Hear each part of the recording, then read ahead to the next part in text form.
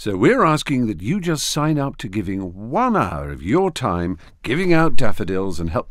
Oh, Jamie. Oh, you angel, thank you so much. Listen, Jamie, um, can I ask, can I have your autograph? Yeah. Just sign here. um, Sure. Thanks. May I say that I really admire what you're doing? Oh, thanks. Thanks. It means a lot. Cheers. That's wonderful. Thanks. That's one more collected. Charlie, since I'm doing this uh, for you, you wouldn't like to sign that for me, would you? That'd be, that'd be great. Hello. Can I get your autograph? please? Yeah, sure. I think I've got, yeah, I've got a pen on me. Is it for you? Yes, Alex. Alex. Actually, while you're here, can I have yours? Oh, yes. name's Tony. Celebrities. Excuse me. We love an autograph, I'm so sorry to trouble you, but could I have your autograph, please? but this time we're asking for them, not giving them out.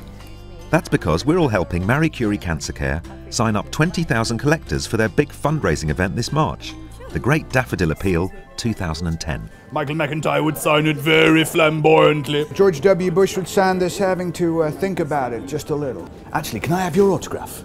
So, what is it people are signing up for? Okay. All people need to do is volunteer to spend just an hour or two with a collecting tin handing out daffodils. Daffodil? Marie Curie will supply everything needed and even help people choose the time and place to collect. Hello. It couldn't be easier. The money raised by collectors will help Marie Curie nurses to provide even more hours of hands-on nursing and support to terminally ill people and their families in their own homes.